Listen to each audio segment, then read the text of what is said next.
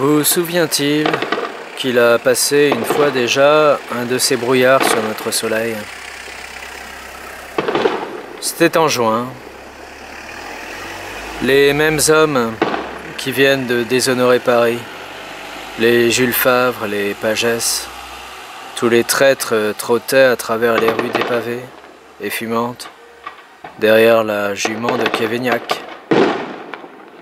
Et ils crachaient en chemin sur les blessures des vaincus. Au fond du caveau des Tuileries, sous les casernes, au Panthéon, les prisonniers nageaient dans les excréments et le sang. On demandait quelquefois par une lucarne Qui veut du pain?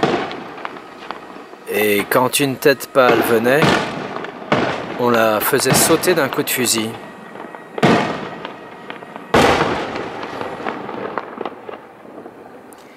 Le désespoir était chez tous. Il y en avait un, cependant, je l'ai connu, qui ne désespérait pas. Il chantait. On l'appela la lucarne. La balle le manqua. Il cracha au visage de l'assassin. Ils plongèrent à quatre ou cinq dans le caveau, reconnurent l'homme et l'emmenèrent. Nom Je m'appelle le peuple. Il était taillé en colosse et il embaumait la poudre. Ceux qui l'entouraient s'écartèrent. L'homme se trouva seul. Il aperçut devant lui l'espace libre et se mit à courir.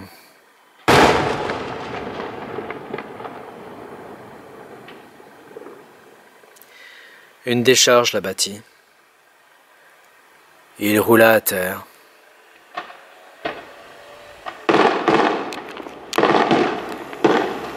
Mais il put se relever et essaya de courir encore. Il retomba foudroyé. On le vit se redresser, et la chair en lambeaux, les os cassés, il tourna vers les tireurs son visage qui n'avait reçu dans cette averse qu'un grêlon de fer au front. Cela lui faisait à la tempe une cocarde rouge.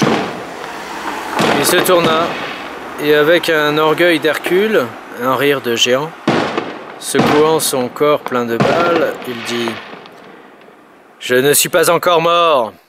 Allez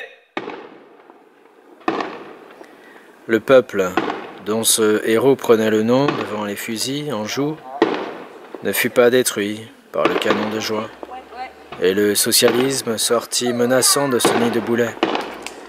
Cette fois encore et toujours, il survivra à la défaite. Et tout mutilé et saignant qu'il soit, il peut dire comme le fusillé de juin, Je ne suis pas encore mort. Allez